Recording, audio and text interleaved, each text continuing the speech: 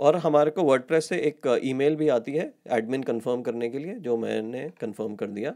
तो ये हमारे को अब बैकएंड दिख रहा है अपनी वेबसाइट का, जहाँ से जाके हमारे को सारे चेंजेस करने हैं। और वेबसाइट इस वक्त बाय डिफ़ॉल्ट जो बन रही है, वो हम जो ये थीम हमने यूज़ करी है, उसके हिसाब से इस किस्म की ये वेबसाइट लग रही है।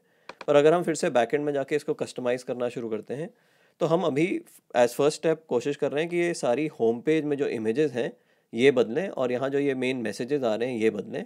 पर यहाँ पे जैसे ये Facebook Instagram home about contact blog ये सब बाय डिफ़ॉल्ट इस टेम्पलेट के एलिमेंट्स हैं, जिनको हम बाद में बदल भी सकते हैं।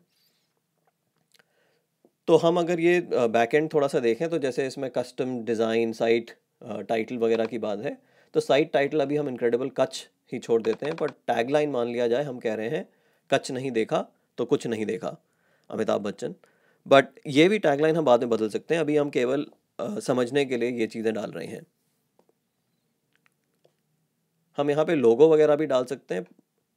और हम ये भी देख सकते हैं कि हमारी वेबसाइट टैबलेट में कैसी नज़र आएगी। तो टैबलेट में इस किस्म से नज़र आएगी। और मोबाइल पे या स्मॉल इंटरफेस डिवाइसेस पे कैसी नज़र आएगी। ये आज के दिन देखना ज़रूरी हो गया क्योंकि ज़्यादा लोग आजकल वेबसाइट्स मोबाइल डिवाइसेस और टैबलेट में देखते हैं। तो हमें जब हम टेम्पलेट चूज़ करते हैं तो हम देख लेते हैं कि ये टेम्पलेट इन डिवाइसेस पे कैसी नज़र आएगी। फिर हम ये सेव एंड पब्लिश करके अपनी जो टैगलाइन है, उसको सिलेक्ट कर रहे हैं। हम इस वेबसाइट का कलर्स और पैलेट वगैरह भी बदल सकते हैं, पर अभी हम फ़िलहाल सब कुछ डिफ़ॉल्ट रखेंगे और बाद में देखेंगे कि कैसे चेंज करना है। हम वेबसाइट के फ़ॉन्ट जो है, वो भी बदल सकते हैं, पर अभी हम डिफ़ॉल्ट ही रखते हैं।